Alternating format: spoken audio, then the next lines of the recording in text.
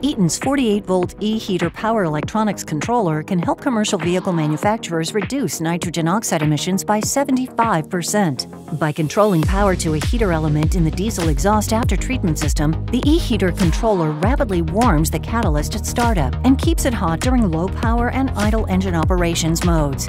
Designed for accurate power output up to 10 kilowatts, the e-heater controller ensures the electrical system remains stable during operation.